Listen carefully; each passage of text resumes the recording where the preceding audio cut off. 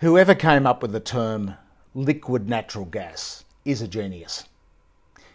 Gas, of course, is almost as toxic as thermal coal, almost as damaging to Australia's emissions future, to the world's emissions future, as are emissions from thermal coal.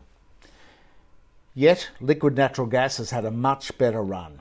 Gas has had a much better run. It's now being touted as Australia's transition fuel to the renewable energy future. This is basically the result of heavy duty lobbying by some of the biggest companies in the world Shell, Exxon, the Australian multinational Santos, Origin, BHP. Gas is a massive industry, and Australian gas prices are through the roof. These guys get their way the whole time. And part of the reason they do is because they are among the largest donors to both major parties, not just the Liberals and Nationals, but Labor also. We have an excellent expose by Callum Foote this week on the gas sector, on the fact that the latest advisors to the government on the energy roadmap for Australia the chief executive of Macquarie Bank and a former chief executive of Origin Energy.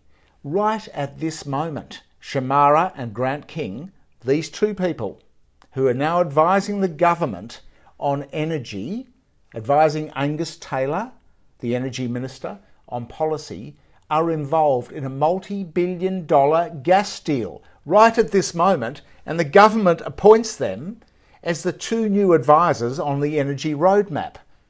I mean, how conflicted can you possibly get? One gas company, one bank which does a lot of gas deals worldwide. It's just insanity in terms of conflict of interest. Callum also goes on to describe all the Labor Party links to the gas industry. Now, there is a divide in the Labor Party between the Green side of the Labor Party and the workers' side, representing people who work in fossil fuel industries. So there's internal dissension, which makes it very difficult for the leader, Anthony Albanese, to juggle in terms of policy.